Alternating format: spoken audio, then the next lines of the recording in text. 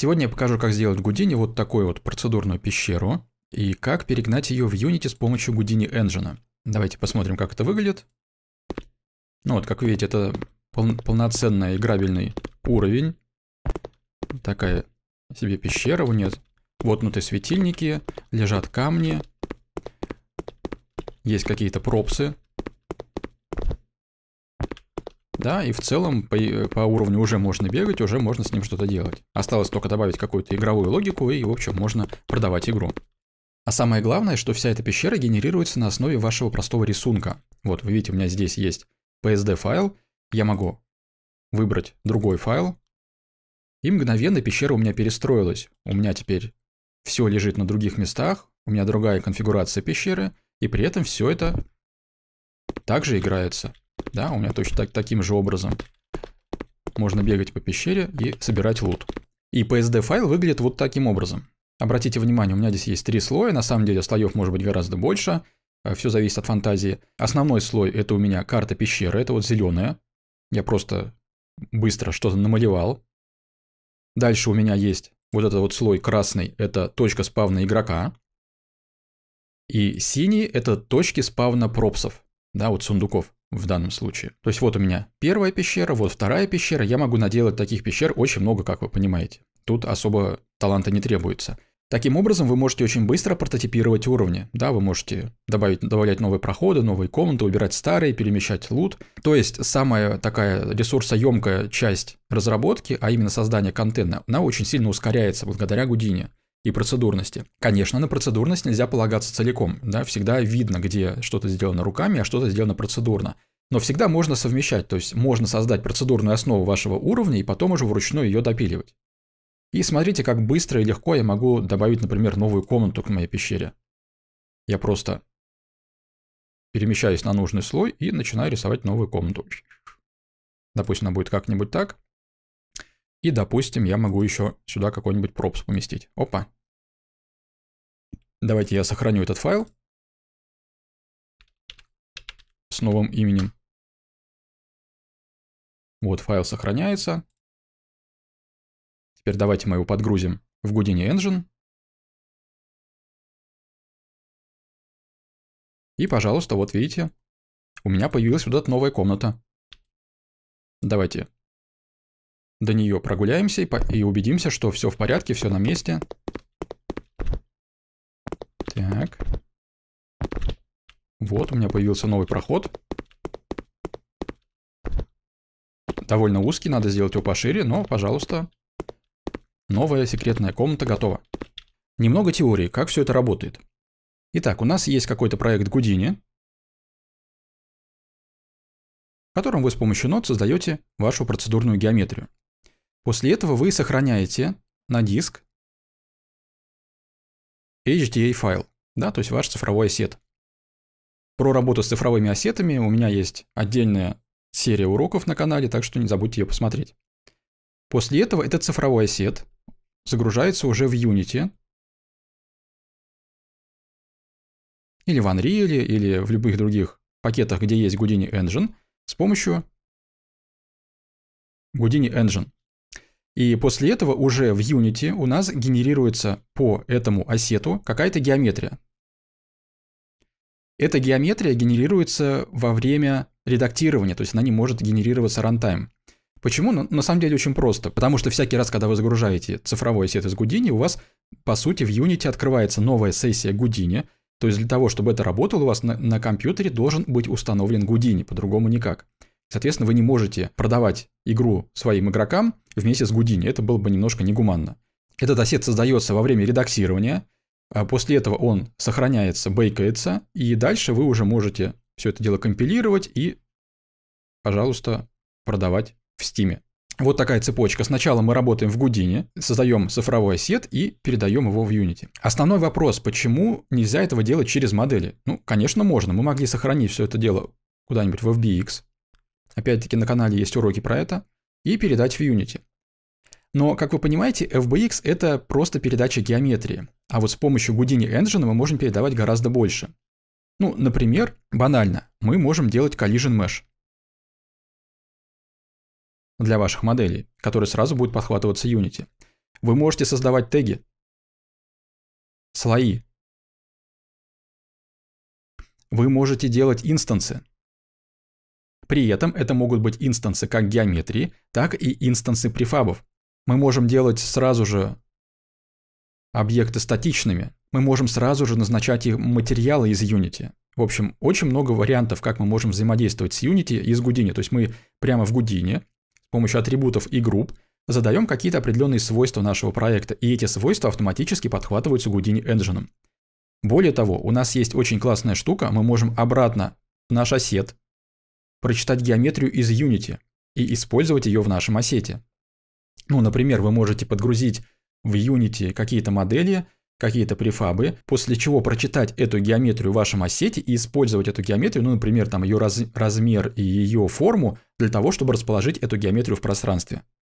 Да, то есть э, таким образом вот эта вот связка через Houdini Engine гораздо более мощная, чем связка через какие-то сторонние форматы. Конечно, здесь есть и определенные недостатки, а, потому что Houdini Engine работает, ну, не то чтобы супер стабильно и супер надежно. Есть какие-то моменты, где не все обновляется, есть какие-то моменты, где нужно как-то хитрить, но все эти плюсы, конечно, перевешивают. Поэтому давайте начнем наш проект и посмотрим, как все это работает. В нашем сегодняшнем проекте мы будем использовать ассеты из Game Development Toolset. Если у вас их нету, вы идете сюда вот, добавляйте shelf Game Development Toolset или SideFX Lab 18 версии, Потом вы переходите на эту полку, выбираете Update Toolset, и у вас все необходимые ассеты загружаются. Давайте мы начнем. Я создам контейнер геометрии, Geo, и я сразу же воспользуюсь инструментом из GameDev Toolset, который называется PSD File Tracer. Вот так он называется, GameDev Trace PSD File. Он очень простой, по сути, внутри у нас стоит самое основное нода Trace, да, которая трассирует вашу картинку. И с помощью коп нетворка у нас э, подгружается PSD-файл и разделяется на отдельные слои. И выглядит это следующим образом. Мы с вами подгружаем наш PSD-шник. Давайте вот, например, вот эту. И выбираем название слоя. Ну, например, слой, который называется Cave. Вот он у меня, Cave. Важно, чтобы название слоев в Photoshop совпадало с теми названиями, которые вы здесь выбираете. Вот я выбрал слой Cave, и у меня сразу же отрисовалась эта картинка. Она отрисовалась в виде самой, самой обычной гудиневской кривой, да, то есть это полигон. Вот можете увидеть один примитив, 383 точки, и мы с этим уже можем работать как с обычной геометрией.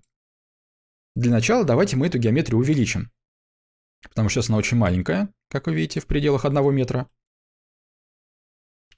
Положим ноду Transform и поставим сотню. Вот, теперь размер более подходящий, уже там 84 на 84 метра. Можно с этим работать.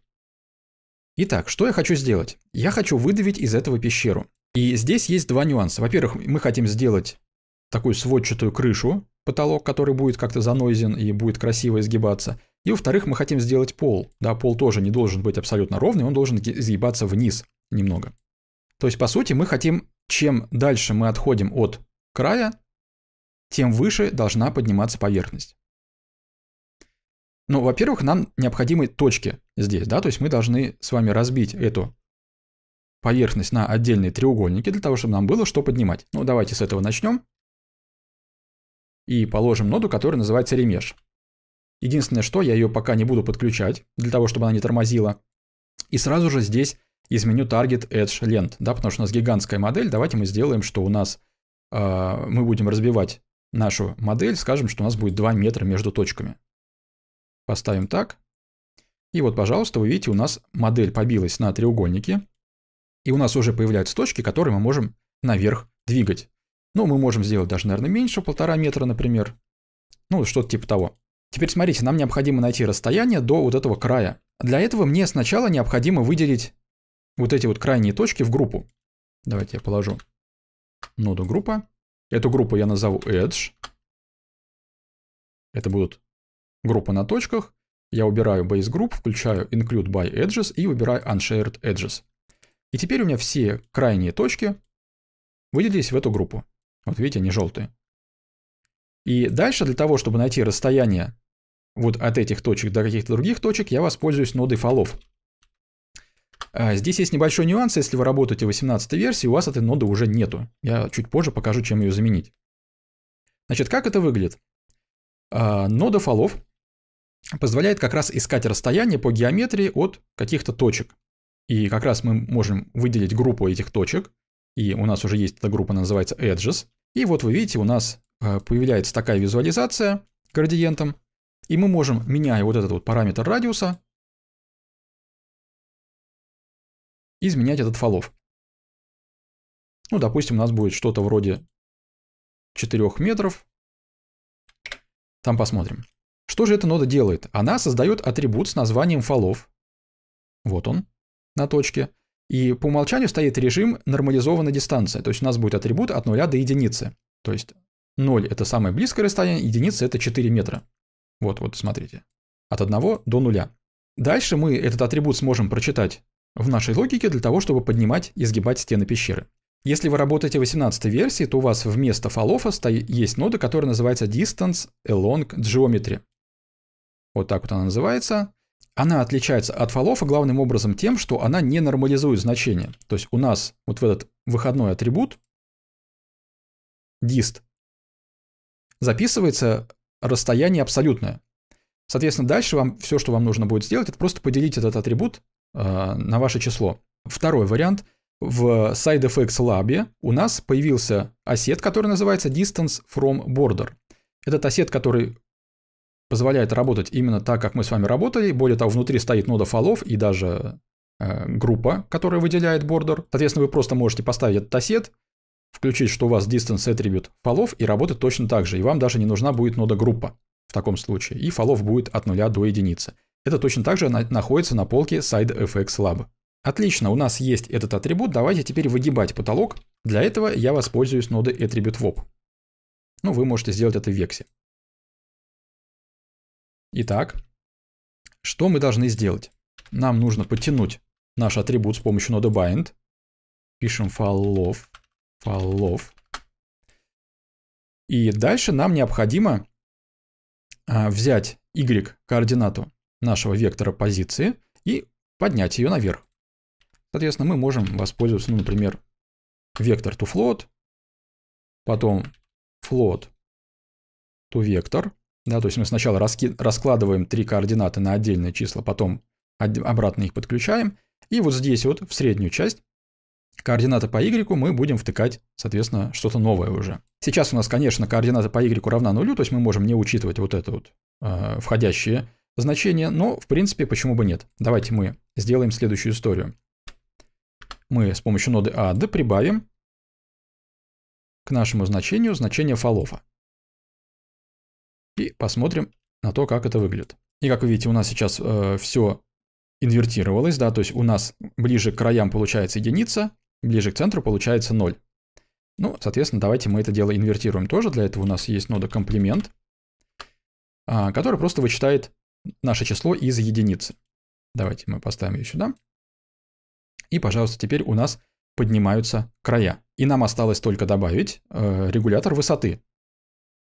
Все, что нам нужно сделать, это просто домножить наш вот этот вот фолов на какое-то число с помощью ноды multiply. На ноде multiply средней кнопкой нажму и выберу promote параметр. Это у меня будет параметр с названием высота. Вот у нас появился на верхнем уровне, и теперь с его помощью мы можем поднимать вот эту часть пещеры. Единственное, что у нас сейчас получается такой а, линейный подъем. Да, потому что, ну, правда, у нас просто линейное расстояние. А было бы здорово, если подъем был закругленный, как-то вот так вот. То было бы более похоже на настоящую пещеру. То есть нам необходимо превратить вот эту линейную функцию от нуля до единицы в функцию вот такую. На самом деле это делается с помощью функции power, то есть нам нужно возвести просто в степень. И в зависимости от той степени, в которой мы возводим наше число, у нас будет меняться изгиб. Давайте мы это сделаем. Вот сюда я добавлю ноду power. И запромоучу вот этот параметр экспоненты. Итак, если я повышаю экспоненту больше единицы, у меня изгиб получается вот такой. А если я делаю ее меньше единицы, допустим, 0,5, у меня изгиб получается вот такой плавненький. Но сейчас у нас э, здесь потянулись треугольники, как вы понимаете, да, потому что вот здесь у нас треугольники гигантские, здесь треугольники маленькие. Поэтому дополнительно давайте мы положим еще один ремеш. Снова сделаем там те же полтора метра. Для того, чтобы выровнять все эти треугольники. Дальше смотрите, какая история. У нас э, внутренняя часть пещеры сейчас, да, на которую мы, собственно говоря, и будем смотреть, а это тыльная сторона полигонов. Вот это вот внешняя сторона полигонов, да, потому что мы, естественно, изначально клали вот эту картинку, которая смотрела наверх, дальше мы ее наверх выгибали. Соответственно, нам необходимо реверснуть наши полигоны для того, чтобы они были вообще видны в нашем движке, поэтому положим ноду реверс. И, пожалуйста, полигоны реверсированы. Кстати говоря, мы можем нажать D над viewport, пойти в Optimize и выбрать Remove Backfaces. В таком случае мы как бы эмулируем то, что мы будем реально видеть в движке. Мы будем видеть только лицевую сторону полигонов, а тыльная будет обрезаться. Ну, давайте пока это удалю. Все прекрасно. Теперь нам осталось сделать пол для нашей пещеры. И пол мы будем делать абсолютно так же. Вот у нас есть наша нода фолов. Мы просто скопируем полностью вот эту ноду attribute wob. То есть это у нас будет walls, а это у нас будет называться floor. Итак, все, что мне здесь надо изменить, это убрать этот комплимент. Давайте посмотрим. Вот, пожалуйста, теперь наш пол выгибается вниз. Но он выгибается, естественно, слишком сильно. Давайте подрегулируем вот эту историю. Ну вот типа того. Здесь мы можем опять-таки поиграть с экспонентой. Может быть, для того, чтобы к, ближе к стене у нас был более такой пологий склон. Но это, в общем, все э, можно делать в процессе создания пещеры, уже в процессе тестирования. И дальше у нас единственная проблема заключается в том, что мы сейчас подняли наш э, пол, поэтому он находится не на нулевом уровне, а находится выше. Давайте я с помощью ноды Merge объединю эти два потока. И вот мы увидим, да, что пол у нас находится вот на этом уровне. Соответственно, пол нам нужно опустить. Я сделаю с помощью ноды Match Size. Здесь я уберу Justify X, Justify Z, а по Y я выберу минимум. Точнее, извините, максимум. И теперь у меня верхняя э, кромка пола всегда будет лежать в нуле координат. И, пожалуйста, у нас получилась такая цельная нормальная геометрия. Пол нам уже не нужно реверсировать, как вы понимаете. И, в принципе, уже с этим можно работать. Единственное, что я предлагаю еще добавить noise к высоте э, потолка, да, потому что сейчас она везде у меня одинаковая, это может быть немножко скучновато. Настоящие пещеры, они все-таки более рандомные. Ну, на самом деле все очень просто. Э, все, что мне нужно сделать, это вот в этом вопе добавить noise. Я выберу turbulent noise. К нему мне необходимо подключить позицию P.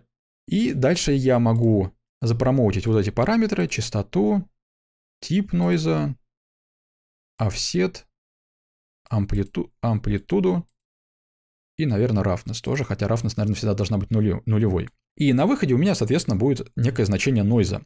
И дальше я могу, например, прибавить значение нойза к нашему значению фалофа.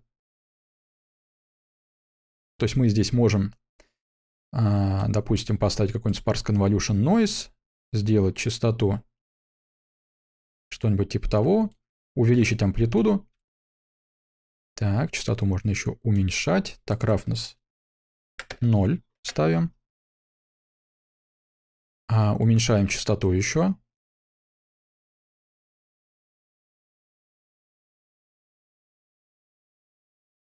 Ну вот, отлично. Как вы видите, у нас появляются уже какие-то более высокие участки. У нас есть более низкие участки, да, потому что Sparse Convolution, он идет от минус единицы. Но у нас возникает проблема с тем, что вот эта часть у нас точно так же занозивается. Да, поэтому если мы все это дело объединяем с полом, ну, как вы видите, получается какая-то чехарда. Поэтому нам необходимо наш noise точно так же домножить на значение фалофа, чтобы у стенки он был равен нулю, а здесь был равен единице. И все, что нам нужно сделать, а, поставить ноду multiply, вот сюда вот, и домножить noise на вот это значение фалофа.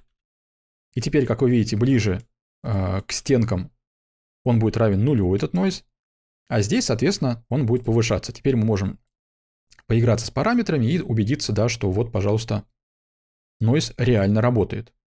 Ну что, уже выглядит круто. Давайте мы добавим еще пару моментов. Мне не нравятся вот такие вот резкие скачки геометрии, которые у нас получаются из-за того, что у нас сплошные треугольники. Поэтому я предлагаю дополнительно поставить ноду Smooth. А, нода Smooth, как вы видите, и как, в общем, следует из ее названия, сглаживает поверхность. С помощью вот этого ползунка можем менять силу. Давайте сделаем что-то типа вот того. И у нас получается более такая гладкая, приятная поверхность. Дальше нам, естественно, необходимо облегчить эту геометрию. Сейчас у нас 11 тысяч полигонов. Это, в общем, не гигантское число. Но было бы здорово иметь возможность менять его, да, потому что все-таки мы говорим про игры, мы говорим про оптимизацию и так далее. Ну, поэтому давайте мы дополнительно положим ноду polyreduce. Обязательно сохраняемся после разных таких операций. Подключаем нашу геометрию и начинаем уменьшать количество полигонов. С помощью вот этого слайдера, да, это количество процентов полигонов, которые у нас остаются.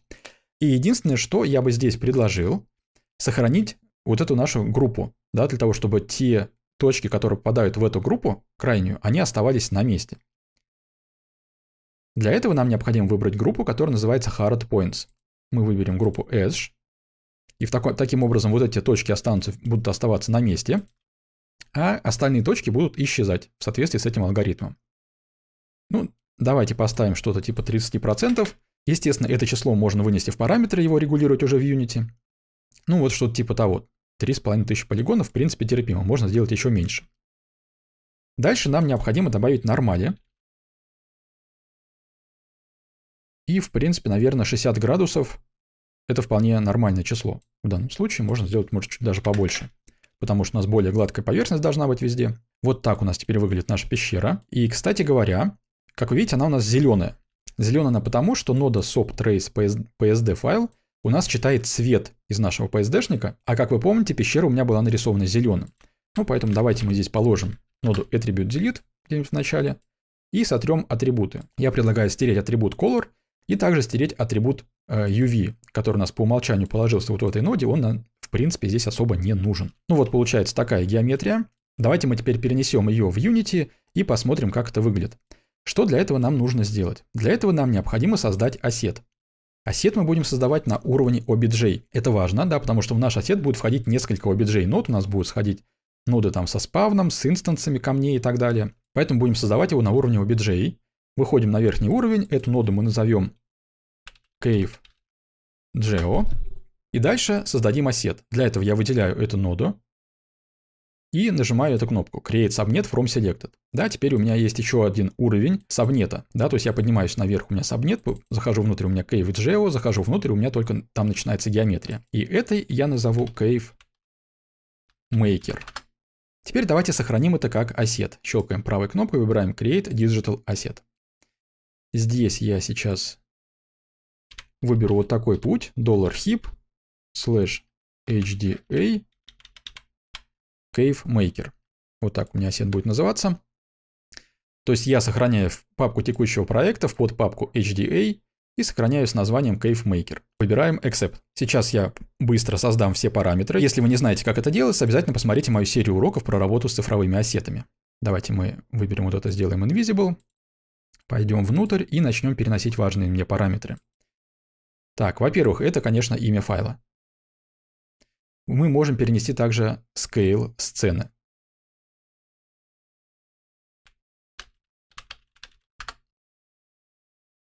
Ну, допустим, это будет от 1 до 200, типа того. Так, мы можем перенести ремеш, в принципе, наверное. Хотя давайте пока его оставим, слишком много параметров делать тоже нехорошо. Так, вот этот вот радиус фолофа.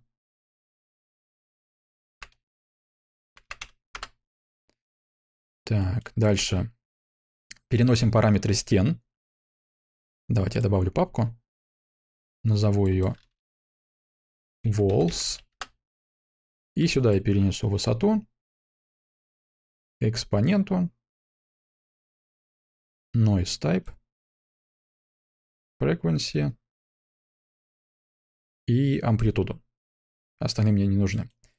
Так, этот ремеш я не буду трогать. Вот этот смус можно положить дополнительно. Это будет называться смус.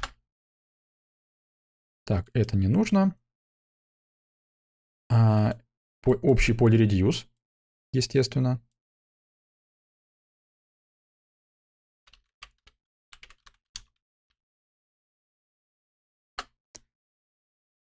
И дальше создаем также папку с названием floor. И сюда мы перенесем некоторые значения вот отсюда. Это конкретно высота и экспонента. Пока этого хватит, нажимаем Accept, и у нас наша нода превращается в осет. Теперь этот осет мы можем подгрузить в Unity. Вот я открыл свежий проект в Unity, давайте начнем. Для начала нужно установить э, сам э, Houdini Engine. Это делается следующим образом. При установке Houdini вам предложат поставить галки на тех компонентах engine, которые вы хотите установить. Вы ставите компонент для Unity, и после этого вам необходимо установить Unity Package. Он находится вот здесь. Program Files, SideFX, Software, то есть место установки Houdini. Идем в нужную вам версию Houdini, выбираем Engine и Unity. И у вас здесь будет лежать Unity Package файл. И все, что вам нужно сделать, это его запустить при открытой сцене в Unity. Дальше мы нажимаем импорт, и все, пожалуйста, Houdini Engine установился, вот вы видите, здесь его окно. И дальше мы можем начинать работу с ассетами из Houdini. Давайте я выберу Houdini Engine и выберу Load HDA файл. Теперь я иду в ту папку, куда я сохранил свой HDA. Вот он у меня называется Cave Maker. И, пожалуйста, у меня добавился объект с названием Cave Maker. На нем установился компонент Houdini Engine с помощью которого я могу запускать наш осет. Этот осет уже, как вы видите, находится здесь со всеми параметрами. Помните, walls, floor. Это те параметры, которые мы создали в осете. Но пока мы ничего не видим. Почему так? На самом деле все довольно просто. Смотрите. У нас здесь путь до файла PSD стоит с учетом heap директории, то есть это папка текущего проекта. Но когда мы с вами запустили Unity, мы по сути запустили новую сессию Houdini, и папка текущего проекта теперь находится вот здесь вот в другом месте. И для того, чтобы все заработало, мне нужно просто здесь выбрать абсолютный путь. То есть я выбираю нашу пещеру, и, пожалуйста, узрите, все заработало. У нас полностью наша геометрия перенеслась в Unity. И здесь мы можем менять наши параметры, и наша геометрия чаще всего будет нормально подстраиваться. Ну, например, давайте мы поменяем там амплитуду шума. Поставим здесь 10. Вы видите, у нас прямо в Unity мы можем теперь влиять на нашу геометрию. К сожалению, иногда это глючит, особенно когда мы работаем с PSD-файлами, в частности, мы работаем с COP нетворком, потому что у него есть свой кэш, и если вы что-то там перерисовываете, если вы что-то создаете новое, вам иногда приходится перезагрузить PSD-файл, то есть выбрать просто какой-то другой PSD-файл, поэтому если вы создаете новую версию, лучше сохранять ее в новый файл. Ну, опять-таки, это поможет вам сохранить какие-то старые версии. Но в целом, как вы видите, все более-менее работает. Да, мы можем смузить нашу поверхность, мы можем менять здесь амплитуду, менять частоты нойза и так далее и тому подобное. Менять высоту потолков, сделать их равными 10. Давайте посмотрим на сам этот компонент. здесь у нас есть несколько вкладок. Во-первых, вкладка Generate. И здесь у нас есть две главные кнопки. Rebuild Asset и Recook Asset. Если вы меняете какую-то логику ассета, то все, что вам нужно сделать при сохранении новой версии, сделать рекук. Да, в таком случае у вас как бы осет приготовится заново, но при этом какие-то вещи дополнительные, которые вы вот здесь вот устанавливаете, например, материалы и так далее, они у вас останутся неизменными. Если же вы добавляете какие-то новые параметры, или у вас появился какой-то глюк, или что-то не обновляется, вам нужно нажать Rebuild Asset. В таком случае у вас полностью стирается все, что было здесь, и заново перестраивается вся эта иерархия. И, но при этом, соответственно, если вы здесь устанавливали какие-то дополнительные скрипты, дополнительные материалы, это все тоже сотрется. Вот поэтому будьте внимательны. Следующая вкладка Bake позволяет результат работы э, Houdini Engine забейкать просто в обычный префаб, например. Да, использовать уже в других проектах, без Houdini Engine. Следующая вкладка Events, вы можете запускать какие-то скрипты э, по каким-то событиям, например, после того, как произошел rebuild или recook, да, для того, чтобы опять-таки можно было автоматически подсоединить какие-то скрипты или что-то еще дополнительно сделать.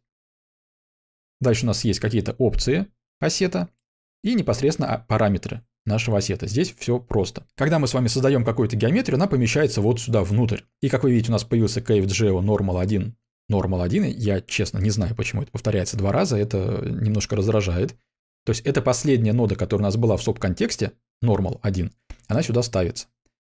И у нас, как вы видите, появилась обычная нода с mesh-рендерером и э, mesh-фильтром. И в этом mesh-фильтре у нас хранится, соответственно, наша э, геометрия пещеры, которая с помощью вот этого mesh-рендерера вот таким вот дефолтным материалом нашего э, engine рендерится.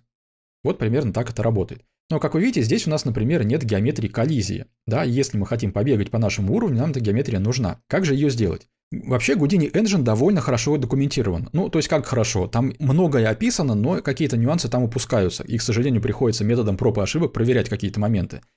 Но, в принципе, вот это вот sidefx.com, docs, Unity – это ваша любимая вкладка на долгое время. Здесь есть рассказ про то, как работать с engine, как можно перетягивать какие параметры, какие можно использовать атрибуты, какие группы, как, как назначать материалы и так далее. Здесь все это описано.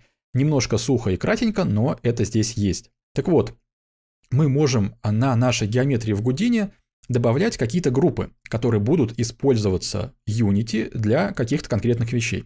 Например, давайте посмотрим. Группы. Здесь есть, например, группа Collision Geo, пожалуйста, которая превращается в коллайдер. Дальше у нас есть э, конвексная геометрия, у нас есть видимая геометрия коллизий и так далее. У нас есть группа для лодов отдельно, но нас с вами интересует сейчас вот эта группа collision, нижнее подчеркивание, geo. И все, что нам нужно сделать, чтобы геометрия коллизии появилась в нашем результирующем проекте, это добавить эту группу. Проблема заключается в том, что если у нас есть такая группа с названием collision, нижнее подчеркивание geo, то вся эта геометрия становится невидимой и превращается, соответственно, в меж-коллайдер.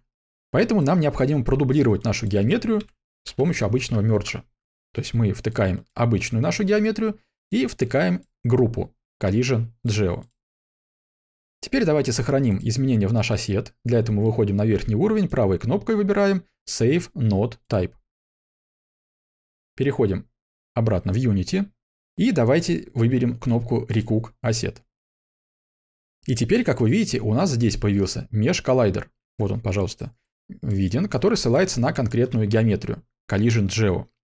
Более того, мы с вами можем теперь сделать кастомной э, геометрию коллизии. Ну, например, можем поставить какой-нибудь polyreduce здесь дополнительный, да, или как-то еще ее изменить, заменить ее на квадраты и так далее, да. Таким образом, у нас геометрия коллизии будет отличаться от геометрии для рендера. Это очень удобно. Ну давайте сейчас пока мы этого делать не будем. Но в целом вот таким образом мы можем добавлять любые коллайдеры к нашей геометрии. Отлично, давайте теперь мы попробуем побегать по нашей пещере и посмотрим, как это выглядит изнутри. Я сейчас работаю в Unity 2019.3. К сожалению, стандартные ассеты Unity из Asset Store, там, где у нас есть персонажи, пока несовместимы с этой новой версией Unity, поэтому я вытащил этих персонажей отдельно из библиотеки, запаковал их. По ссылке в описании вы сможете их скачать и установить себе, для того, чтобы не терять время. Выглядит это вот так вот. Character Unity Package. Просто нажимаем два раза на него, и у нас импортируются только а, персонажи, которые были в стандартных ассетах. Так, вот у нас появилась эта папка. Мы выберем здесь First Person Character, Prefab и выберем FPS контроллер и положим куда-нибудь сюда в сцену. Давайте мы передвинем куда-нибудь на какой-то старт. И, соответственно, поднимем повыше. Ну, вот типа того, сохранимся, и, в принципе, уже сейчас можно будет играть. Так, вот мы появились в нашей пещере. У нас пока нет текстуры, нет освещения, все выглядит ужасно, но уже можно бегать и оценить масштабы, что, в принципе, масштабы правильные, коридоры достаточно широкие, и по ним можно бегать, и мы при этом не можем пройти сквозь стенку, ну, разве что кликнуть где-то случайно, здесь можно все это поднастроить будет. Отлично, вот появился какой-то результат, ну, давайте продолжать. Но продолжим мы уже в следующей части урока.